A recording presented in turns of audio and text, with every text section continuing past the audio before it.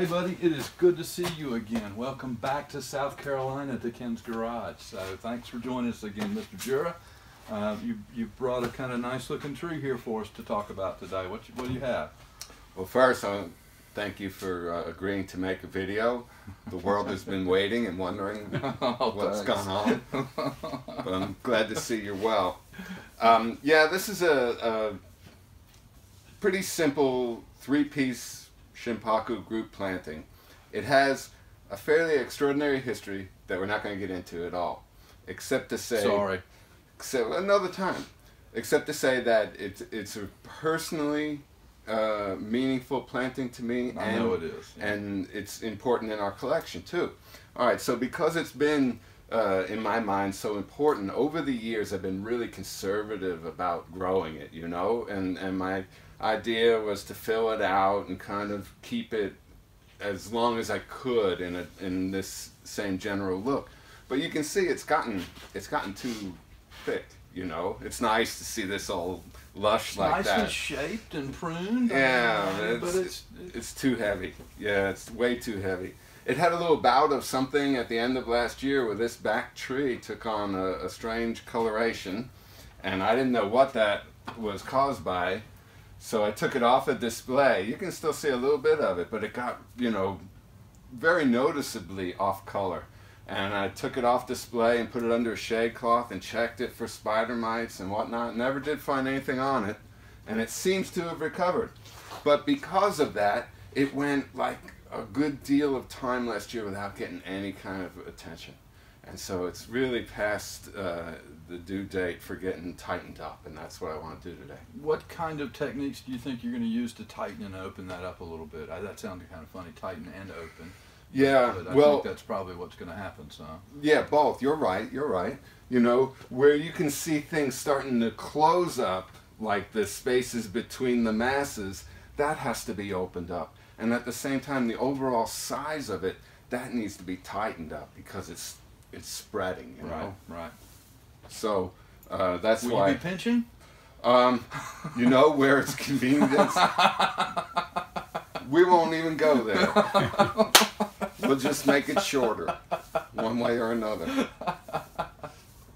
No, I mean, starting out, this tree was always pinched because that's how I was taught. So I did it that way. But you know, lately I do it a lot more with shears than with my fingers. But your fingers are still useful for They certain absolutely things, are. you know. Absolutely are. And it depends what you're pinching and, out. and I think of it as ripping sometimes more than pinching what I do because I'm I'm going underneath the pads and and ripping some of that foliage, pinching whatever you want, however you want to describe it.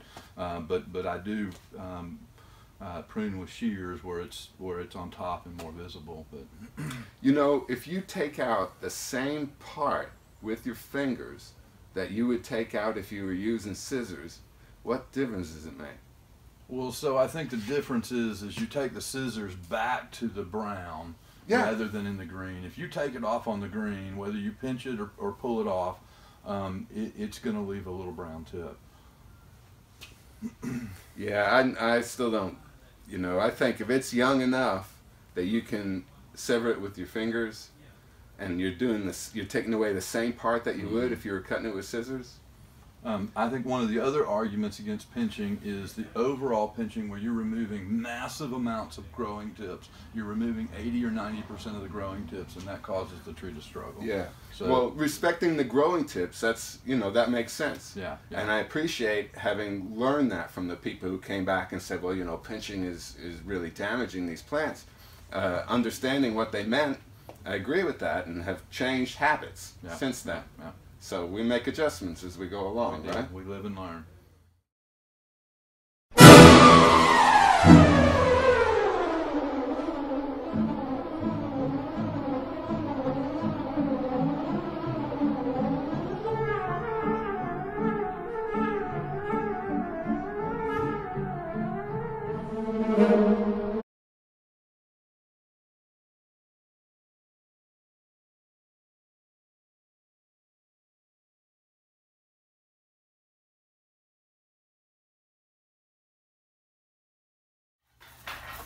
You've worked hard once again, Arthur. This is, this is uh, um, looks like a different tree.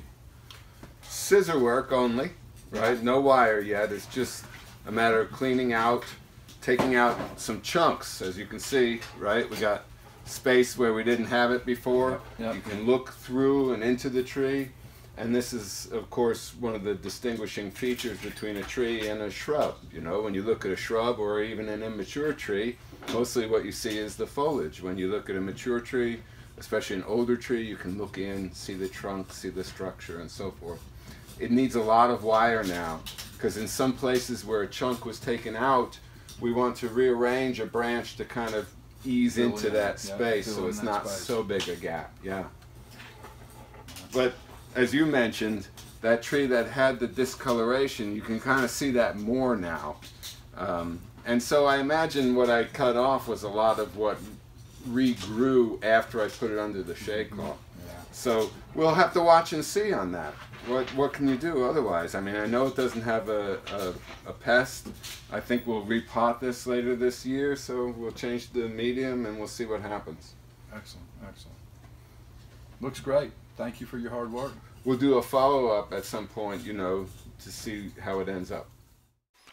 Arthur provided that follow up for us. He uh, finished working on it, wired a few branches, and it looks like he thinned a few more things too, and uh, shared a little video with us after he got it back to the Arboretum. Thank you, Arthur.